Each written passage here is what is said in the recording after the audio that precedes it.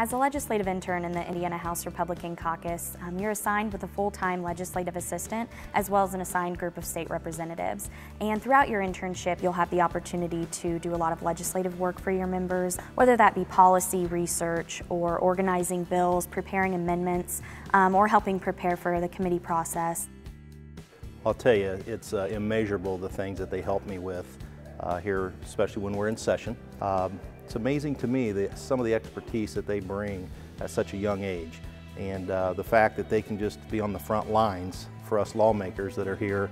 Um, it's uh, nice to be able to uh, have them working directly with the lobbyists or our constituents uh, to provide uh, a lot of information for us.